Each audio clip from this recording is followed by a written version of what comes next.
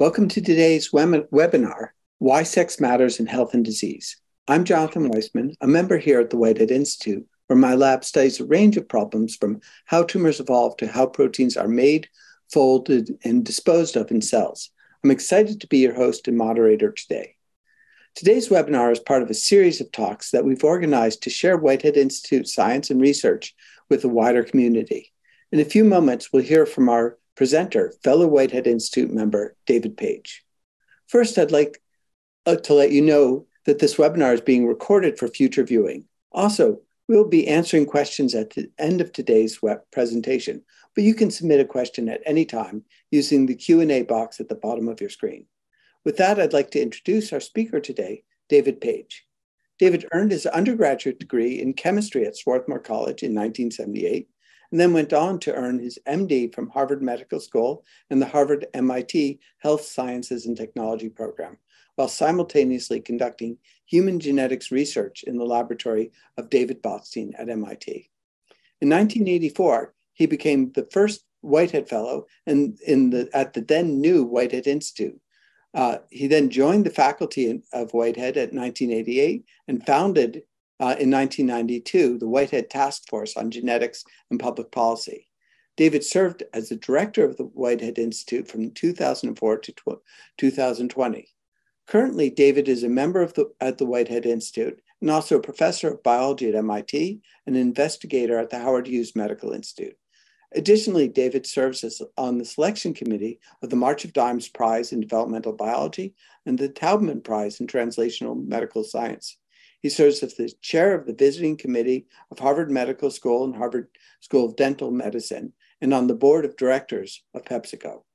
At the Whitehead, David's research focuses on understanding where male and female cells, tissues, and organs are essentially the same and where they're fundamentally different. Today, he will discuss his lab's latest findings on the genetic differences between males and females and on the biological and medical ramifications of these differences. David, welcome and thank you. Jonathan, thank you for that very generous introduction. And I'm just going to take, uh, and I want to offer my greetings to all of you um, out there, um, friends and supporters of Whitehead Institute. I want to talk today about my lab's mission and encourage you to join me in thinking about how best to pursue that mission. And let me start by sharing my screen. So, our task today uh, is to consider why sex matters in health and disease. And I'm going to, uh, as a uh, subtitle, offer the chromosomal basis of sex differences in human health and disease. So, with that, let me turn to my lab's mission.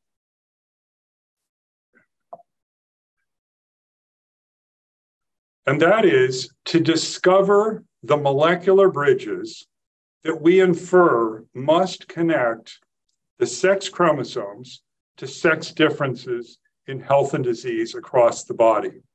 And I'm going to assert today that all biologically based differences, and by biologically based differences, I mean those that are not due to social or environmental determinants, I'm going to assert that all biologically based sex differences trace their origins to the sex chromosomes.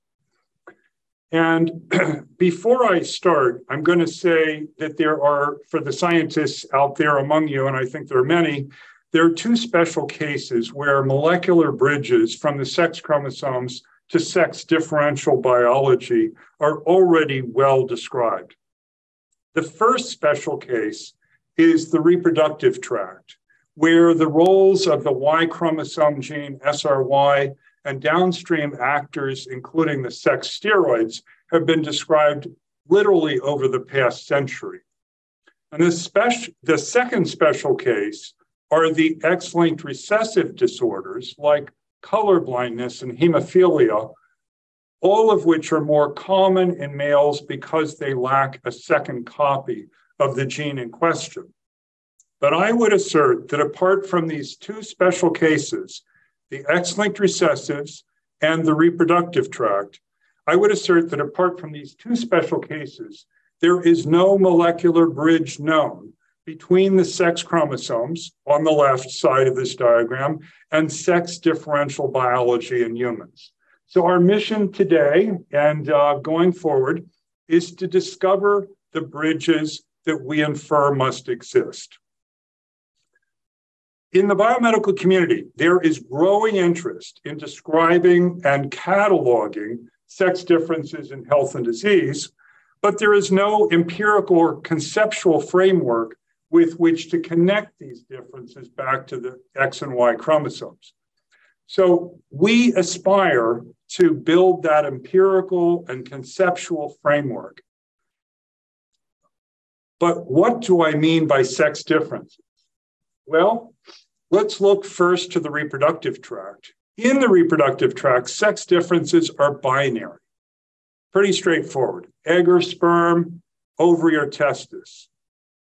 But outside the reproductive tract and across the body, sex differences are not binary, but instead involve continuous variables with overlapping distributions, overlapping but shifted distributions in females and males. So consider human height, where the distribution observed in females is shifted 13 centimeters or five inches from the distribution observed in males. In fact, the world's largest genome wide association, or uh, GWAS studies, encompassing 5 million research subjects, GWAS studies of height implicate a thousand or more genes in variation in height. And it turns out it's the same thousand genes that have been implicated in females and males, but with no explanation for the 13 centimeter shift between the sexes. And diseases display sex differences. So, for example, the autoimmune disorder lupus is six times as common in females, while autism spectrum disorder is diagnosed four times as often in males as in females. But in many and in many disorders, even when females and males are affected at similar frequency, the severity or the consequences are often greater in one sex than another.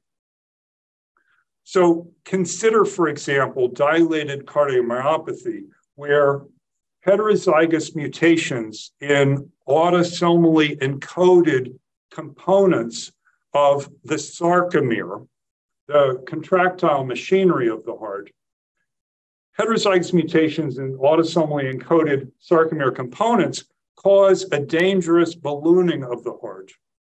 And in this plot, which is from Kricket and John Seidman's lab, we see the survival curve for females with this disorder. Males with equivalent autosomal genotypes die at a much younger age. And there is today no explanation for what is generally a 10 year difference in um, the occurrence of uh, uh, very severe, if not lethal, events for individuals with dilated car- cardiomyopathy between males and females. So, how then to discover the molecular bridges from such sex differences in health and disease back to the sex chromosomes? That is our quest. We believe that a critical intermediate step is actually sex biased expression of autosomal genes, genes that otherwise function identically in females and males. Is there evidence of such an intermediate step? Yes, as we found in a multi species survey of gene expression.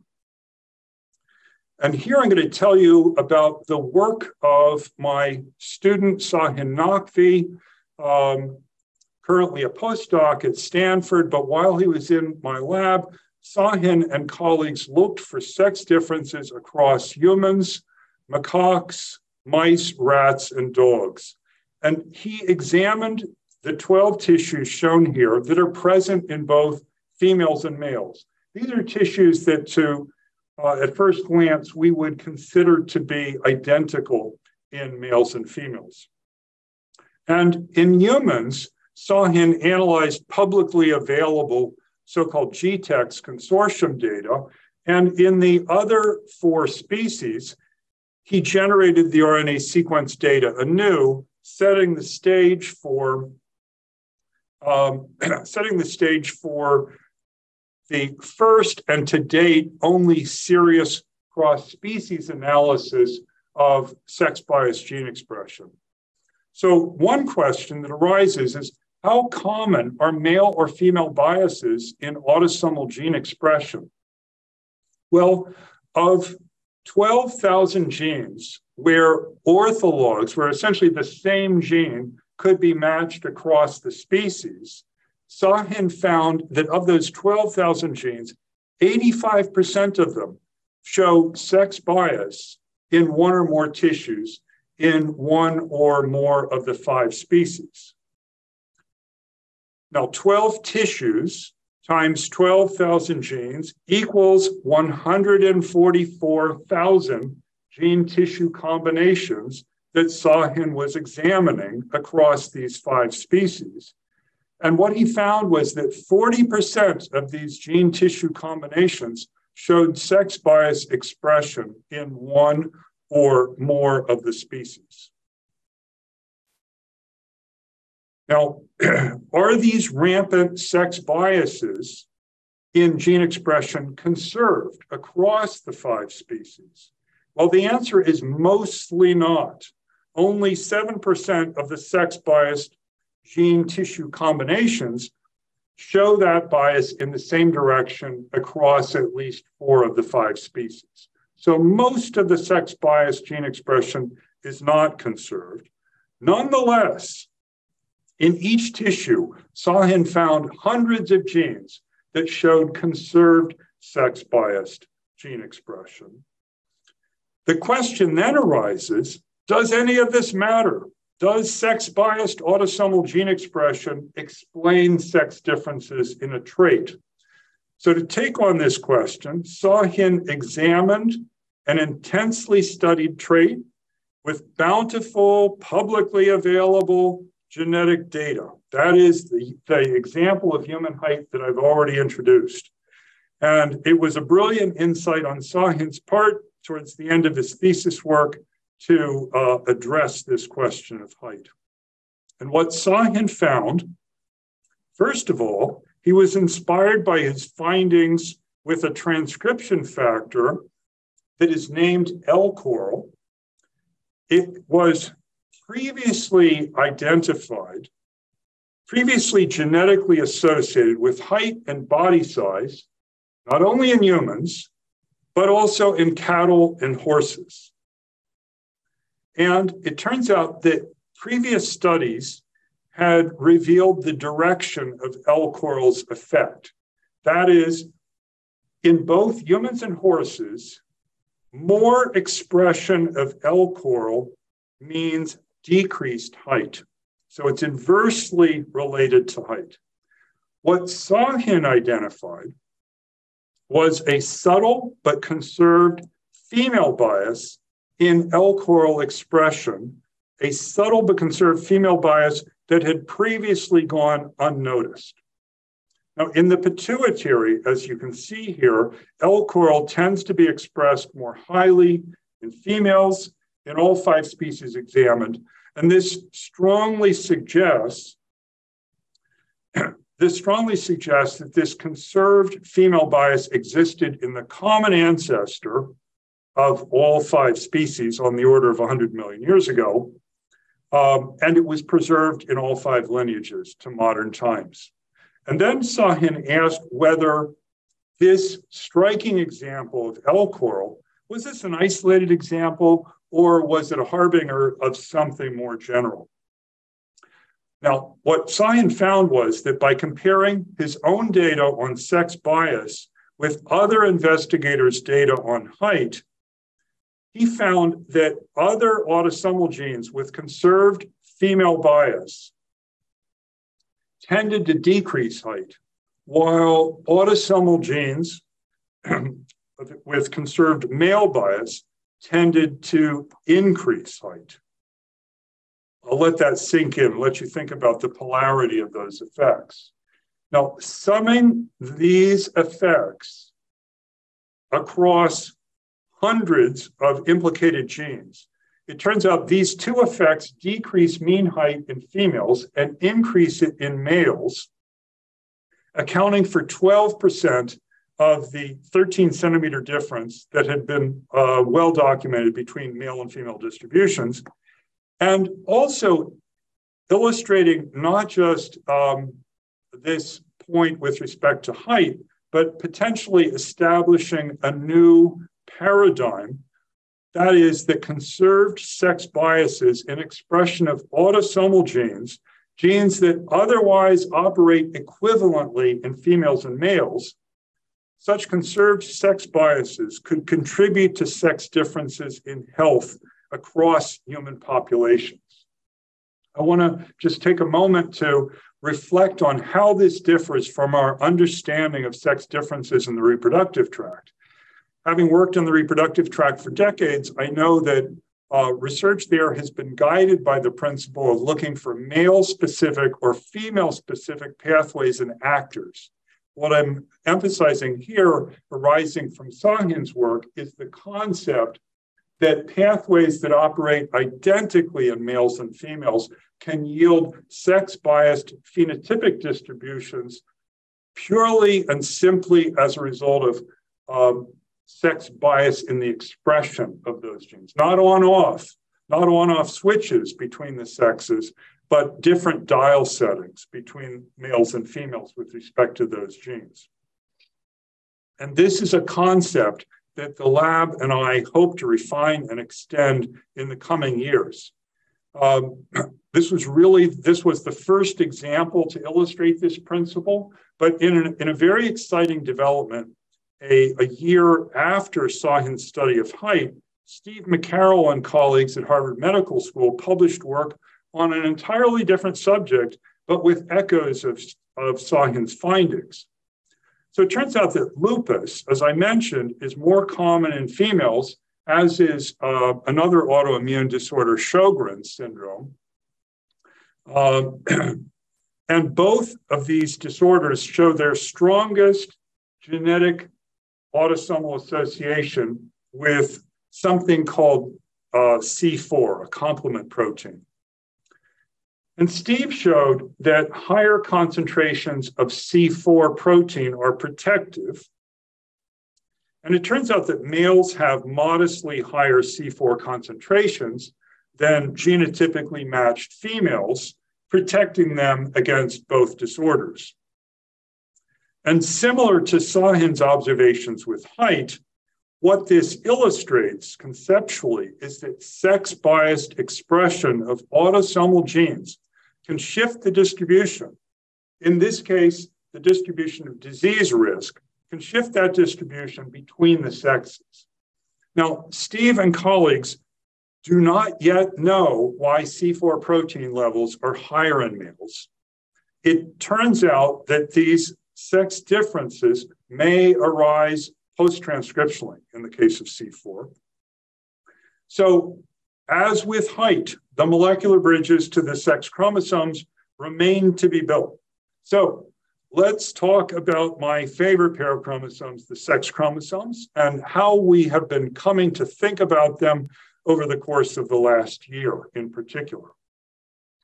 So sex chrom- uh, humans nominally have sex chromosomes of two kinds. Up at the top, the green bit, the pseudoautosomal region, um, or PAR, is kept identical on X and Y by crossing over during male meiosis. The rest of the X chromosome is the non pseudoautosomal region, or NPX, and the rest of the Y is the non pseudoautosomal NPY. Now, while diverged in DNA sequence and gene content, NPX and NPY share 17 gene pairs. These NPX NPY gene pairs are not pseudoautosomal. I'll just say again, those genes are not pseudoautosomal. They're not identical. They're not swapped between the X and the Y at male meiosis. Um, but while geneticists say, we always say that humans have two kinds of sex chromosomes, Epigenetically speaking, I will argue that human somatic cells have sex chromosomes of three kinds. XA, the active, so-called active X, XI, the so-called inactive X, and Y. And the amazing thing is that in human beings, these can coexist. Uh, these chromosomes can coexist in the same somatic cell in various combinations. And I'll just point out that uh, though we often look for clues and cues and parallels, um, there is no parallel to this situation in flies, which have at most two kinds of sex chromosomes in any given cell, or worms, uh, that is C. elegans, with one kind of sex chromosome in a given cell. So let's consider the implications of the fact that human somatic cells carry sex chromosomes of three epigenetic sorts. It turns out then that euploid human somatic cells um, come in two varieties, either 1X, typically 1XA and 1XI, or 1XA plus 1Y. Now, 1XA is present in euploid somatic cells of both sexes. And after extensive genetic characterization, our lab can find no differences between the XAs in female and male cells. So that is to say that the XAs appear to be uh, epigenetically uniform. Uh, so I'll, I'll say that while the X is often referred to, uh, both by scientists and non scientists alike, the X is often referred to as a female chromosome. Uh, the XA is no more female than an, any autosome. And so the chromosomes that differ between the sexes, the chromosomes that differ between females and males are XI versus Y. Now, this might seem like a small thing, but we, we have, uh, we geneticists have for um, a century said that females are XX and males are XY. But what I'm asserting now is that it may be more helpful to say that females are XI and males are Y. Um, in other words, the other 45 chromosomes, all 44 autosomes, 22 pairs, plus the first sex chromosome, the XA, the first 45 chromosomes are genetically and epigenetically equivalent in females and males, and only the 46th chromosome differs.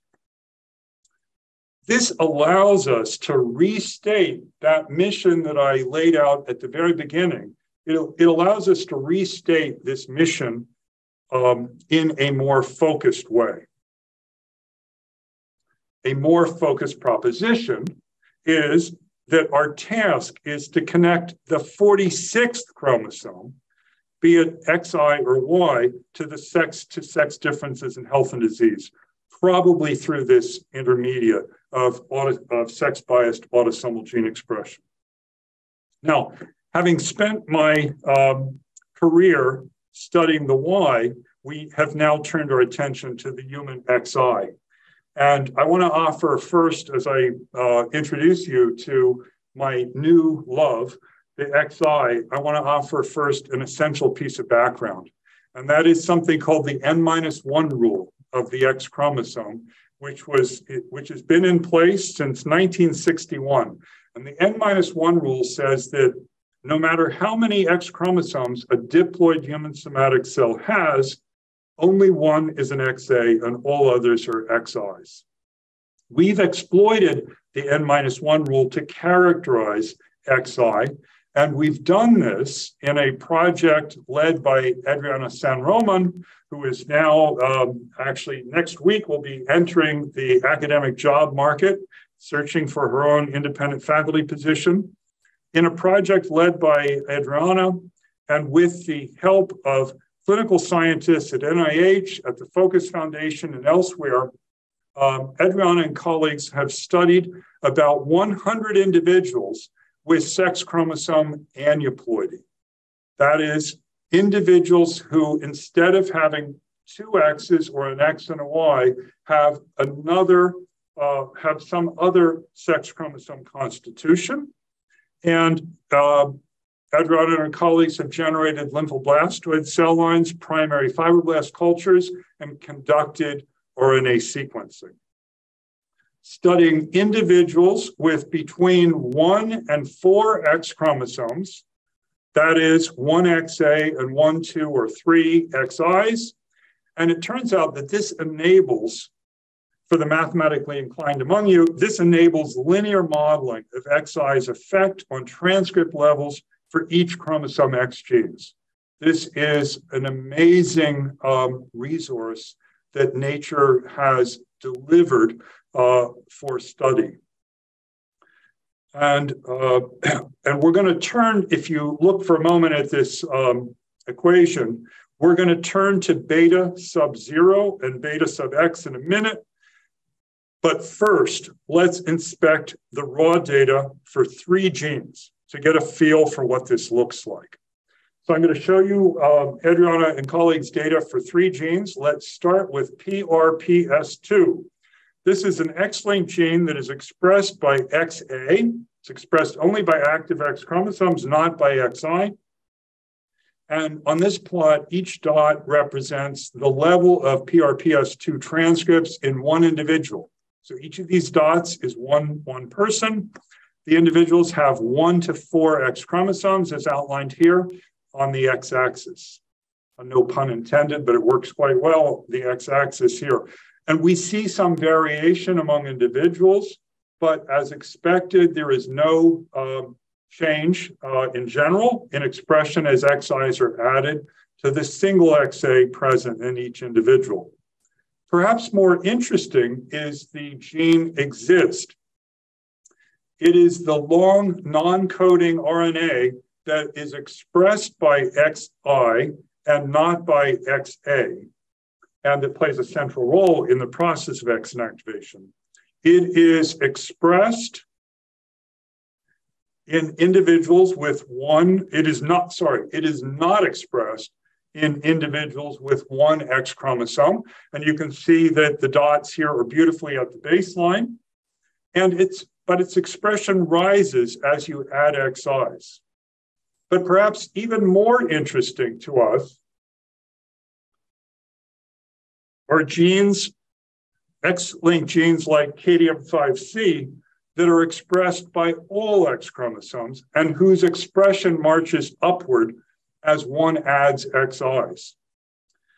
Very tidy, very modular, almost algebraic with each dot, again, representing a different, unrelated in human individual, many with a Y chromosome, many without, sorted only by the number of X chromosomes. And I would offer here that this is so modular and so algebraic that if, if all you knew was the level of expression of KDM5C in lymphoblastoid cells from an individual, you could estimate with uh, reasonable confidence the number of X chromosomes that individual carries.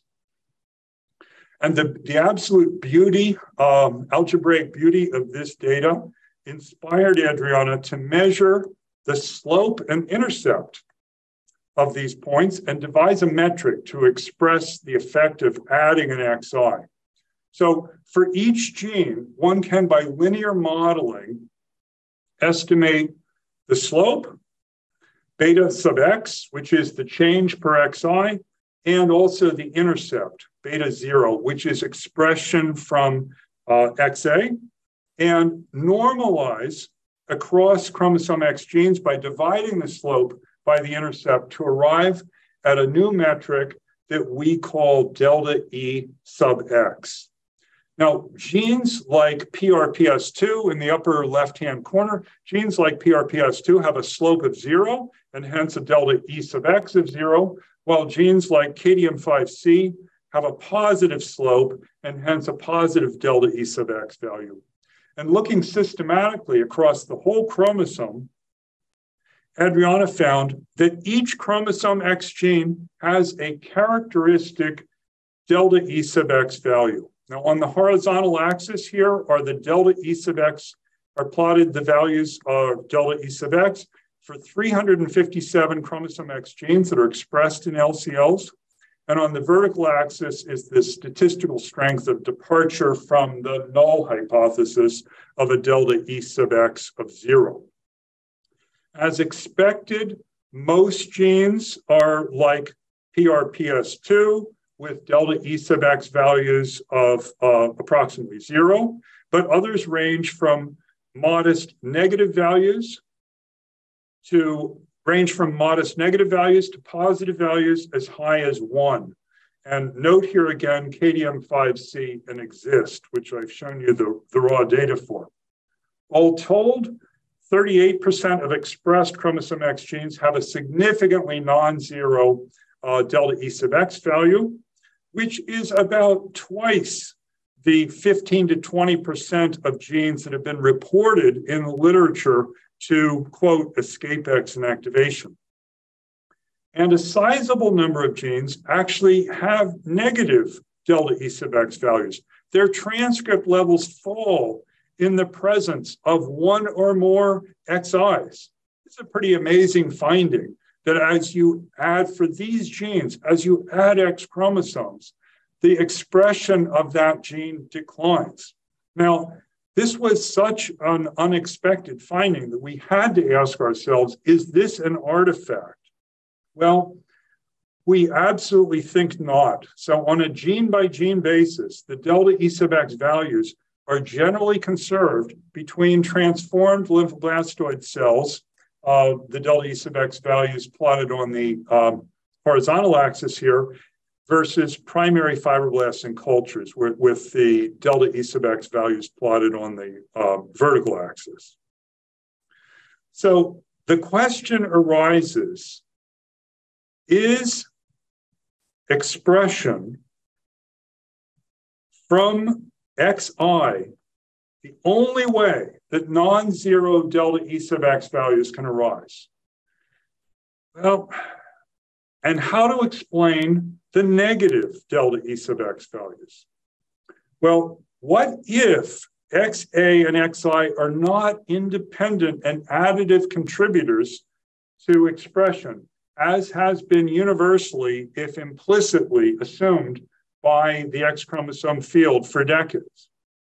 So we needed to compare delta E sub x with a more direct measure of XI expression. And so Adriana conducted allele specific analyses calculating the allelic ratio called, uh, or AR, that is the ratio of transcripts from XI and XA, and compared AR with delta E sub X. Now, it turns out if XA and XI expression are independent and additive, as has been universally assumed, then the way these values are calculated, AR should equal delta E sub x, which is represented, that expectation is represented by the diagonal here. And indeed, most chromosome X genes behave as expected. They fall near the diagonal with similar AR and delta E sub X values. But other genes don't behave uh, as expected. They don't follow these rules. So consider MPP1. This is an X-linked gene whose values fall far below the diagonal. MPP1's delta E sub X value is 0.24. That is to say that each XI increases transcript levels by 24%, but its allelic ratio is zero, demonstrating that XI does not express MPP1. Only XA expresses MPP1. We conclude that XI upregulates MPP1 in trans on XA, which is the only chromosome that expresses this gene. Now, let's contrast this positively modulated rogue MPP1. Let's contrast it with the negatively modulated rogue DDX3X, whose values rise well above the diagonal, with a delta E sub x value of 0.26, which means that each xi increases transcript levels about 26%. Virtually identical. Note the delta E sub x value for DDX3X is virtually identical to that of MPP1, but DDX3X's allelic ratio is much higher at 0.55, meaning that in cells with two X chromosomes, transcripts from XI are 55% as abundant as those from XA. We conclude that XI expresses DDX3X robustly, but also negatively modulates DDX3X transcripts that derive from XA. Now, I will say here that DDX3X is the most elaborately regulated gene that we've identified to date on the human X chromosome, and we are studying it intensely now and going forward. Summing it all up, it looks as though XI, what had been called the inactive X, is actually modulating transcript levels of at least 121 genes on XA. A, a substantial fraction of the genes on XA are modulated by uh, XI's uh, activity. And put together, these results reveal the existence of two uniquely X chromosome modes of uh, uniquely X chromosome modes of gene regulation in humans. One is transcriptional attenuation of nearly all genes on XI in cis. This is what is traditionally referred to as X inactivation. And in addition, there is modulation, positive or negative, of individual XA genes um, by XI, and this occurs in trans. And the new metric, delta E sub x, to which I've introduced you, this new metric captures both cis and trans effects, and, um, and they, these differ widely in magnitude and even in polarity among chromosome X genes. Well, let's bring this all back to the question of the differences between males and females in, um, in many healthy and disease um, states. So, what Adriana then did was to use this knowledge to set out to identify the genes on the, on the X chromosome that are most likely, we think, to drive sex differences in health and disease as judged by two criteria. Adriana considered that first, these genes, she required first that these genes uh, should, uh, their expression should change upon adding an XI, and they should be exquisitely sensitive to both underexpression and overexpression, what we call Goldilocks dosage sensitivity. And these are characteristics that um, the uh, sensitivity to under and overexpression are characteristics that Adriana assessed through reanalysis of human population and evolutionary genetic databases. Looking systematically across the X chromosome, she identified a treasure map of just 10 NPX genes that we consider most likely to drive the somatic differences between XX females and XY males. Each of the genes, and they're listed here, displays a, um, a delta E sub x value of at least 0.1 and high dosage sensitivity as judged by population and evolutionary genetic metrics. And of these 10 treasure map genes, five have homologs on the Y chromosome, NPY homologs.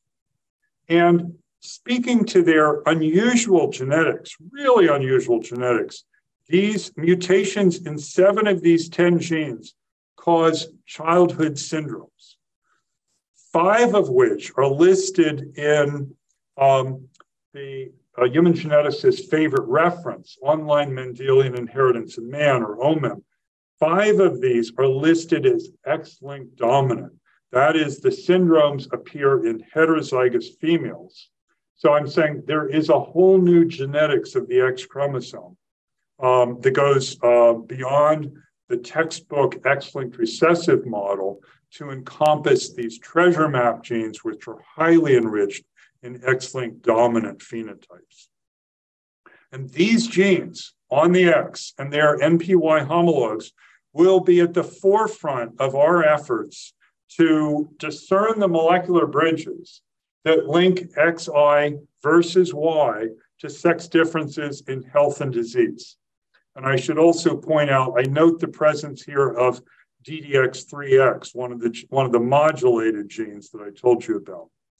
Let me close by mentioning some related projects, most of them, almost all of them collaborative, that are in their early stages. Projects that build upon and extend the work that I've just uh, described for you in detail. First of all, with Boston IVF, we are examining sex differences in gene expression in human preimplantation embryos before sex steroids make their first appearance. Then there are two projects that examine the postnatal effects of sex steroids um, uh, across the body. First, with Boston Children's Hospital um, and their transgender clinic, we are examining the effects of transitional hormone therapy, gender affirming hormone therapy, the effects, its effects on gene expression in peripheral blood cells. And also across the body, we're examining the impact of changes in sex hormones that accompany menopause. And with leading experts in specific tissues and cell types, we're taking, uh, we're, we're taking deep dives into the origins of sex differences in cardiac metabolism, in thermoregulation, immunometabolism, and adipose tissue, and in glioblastoma, autism, and microglia. And in all of these and other areas, we're applying the emerging understandings of the sex chromosomes that I've detailed um, for you. Now, before I turn to questions, I want to, again, I want to thank and highlight the people who have conducted all the work that I've described. And I also want to recognize those whose support has made this work possible. So first, let me say that the, uh, the broad initiative to understand sex differences in health and disease that we've been undertaking here at Whitehead Institute has been conducted by an absolutely uh, spectacular crew. I highlight here present members of the lab and some alumni of ours and other labs at Whitehead that have contributed. I put in bold the names of the individuals who have contributed directly to the to the projects that I've described in detail today. Others uh, are working on projects I've not had time to detail today. Um, and I will especially, again, highlight the, the team leading efforts of Sahin Naqvi and Adriana San Roman, who um, uh, helped direct and oversee the, the uh, two projects that I described. And I would point out that actually both Sahin and Adriana are currently on the job market. And uh, I think they're spectacular candidates who will become outstanding colleagues of um, uh, faculties um, at universities and, and medical schools lucky enough to recruit them. Let me say that this work is not limited to Whitehead Institute. Uh, as I've emphasized, we are collaborating with a growing network of scientists and physicians at other institutions. And I list some of those institutions and the individuals, and actually some of the um, uh, uh, family and support groups that are engaged as well. And finally, none of this work would be possible, of course, without financial resources.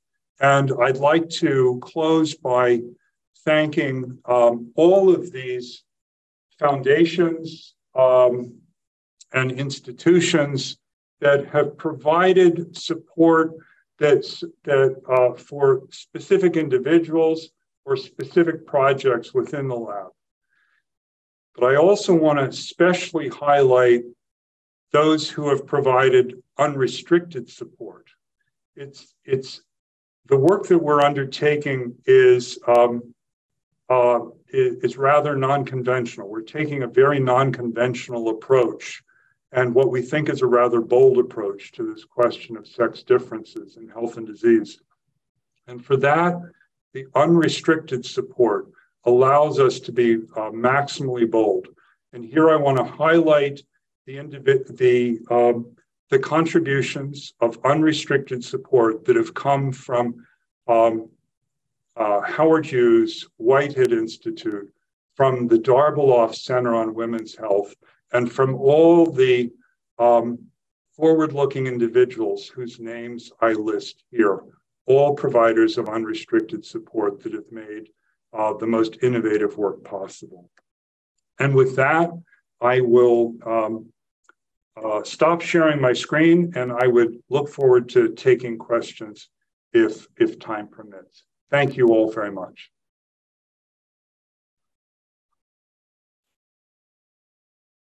Thank you, David, for a wonderful seminar. We have a few questions. Um, maybe I'll take the prerogative and and start with one, which is, um, do you have any sense of the machinery that controls the expression from XI, either in magnitude or in the ratios? And do you see genetic differences in those that then manifest as if you have an extra X chromosome, for example? Yeah. Okay. So let me let me um, uh, let's see, paraphrase a question and say, you know, what what is this? What what's what's the molecular mechanism underlying XI versus XA?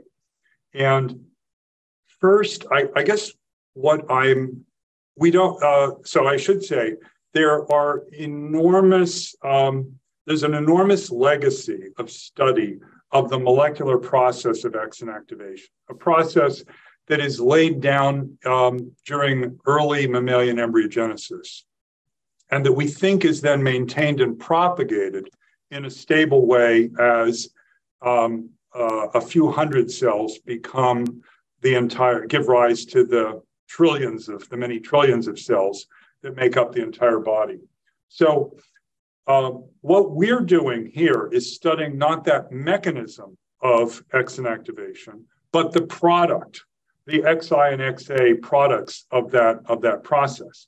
Now, what we have, I think we're coming to have a feel for the XI.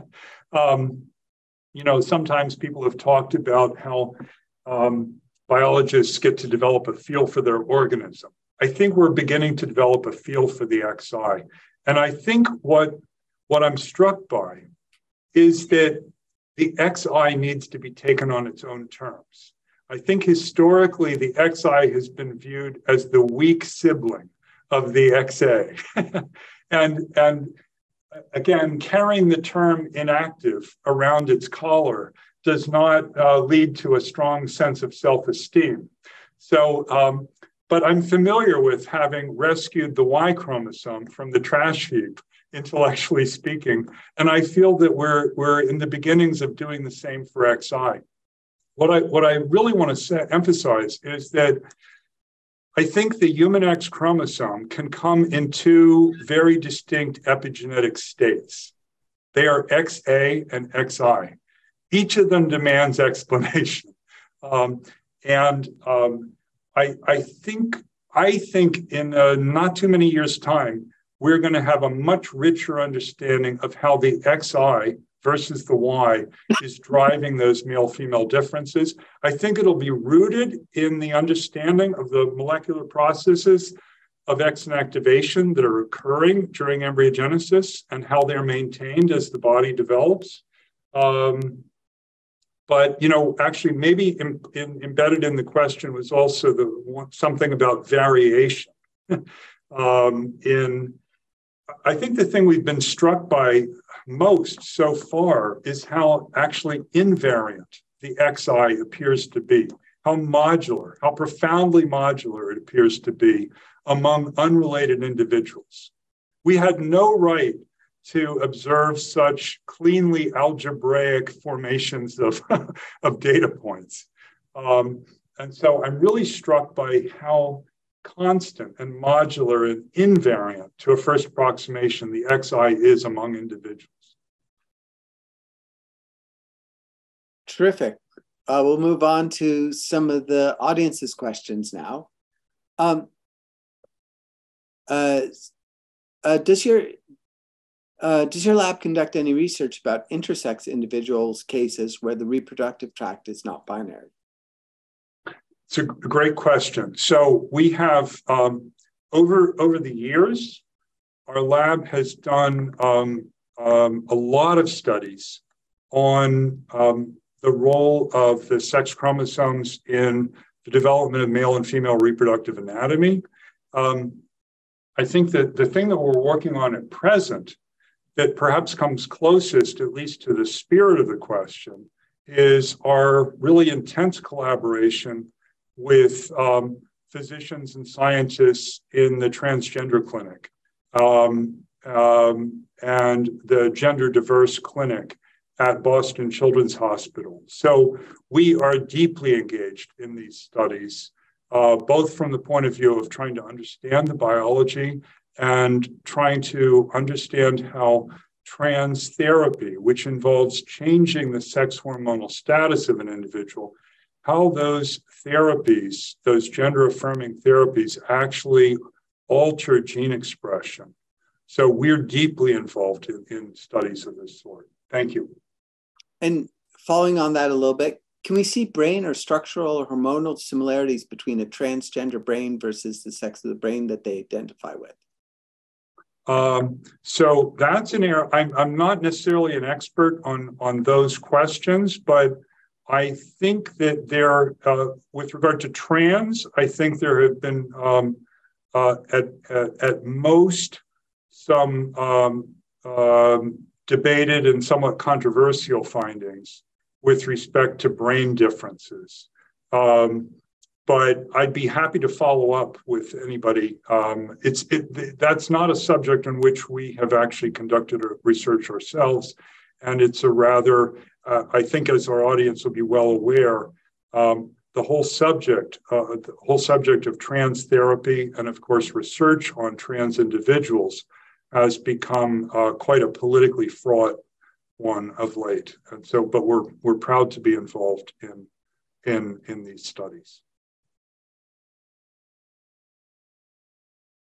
Great. Um, so uh, uh this is maybe more of a statement, but I think it can be turned into a question. I'm interested in understanding sex-based metabolic differences in human iPSC-derived uh, cardiomyocytes.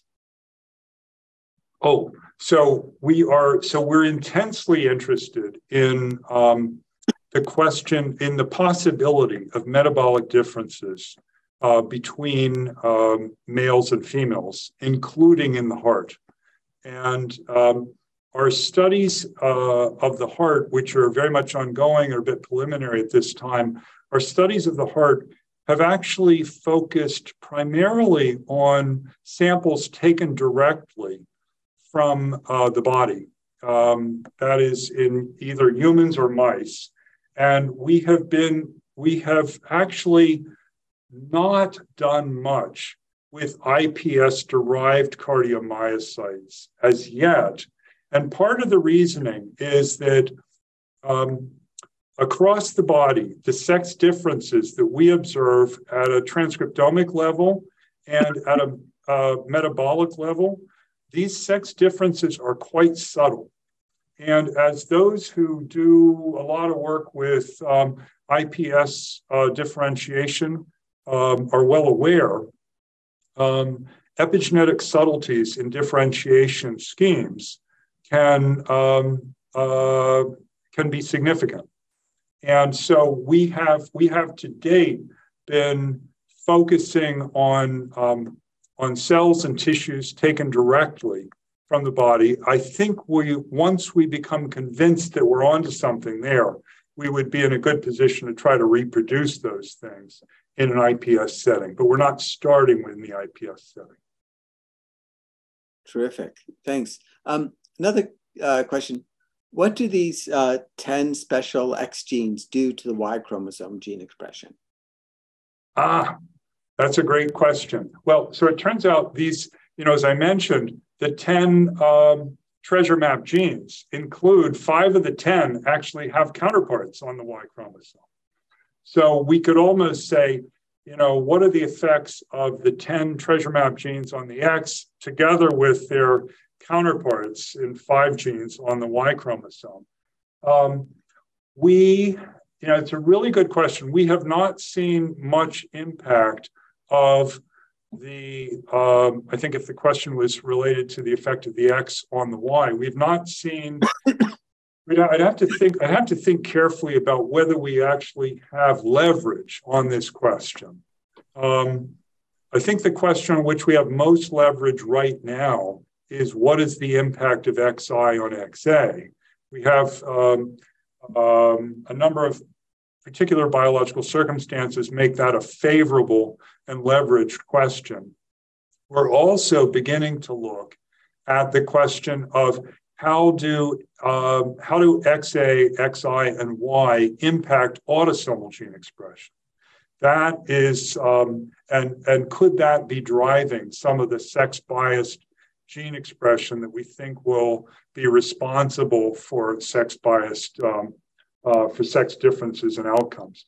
So I think there, I mean, essentially we can we can frame a whole series of questions about who's acting upon whom, and uh, so it's a great question.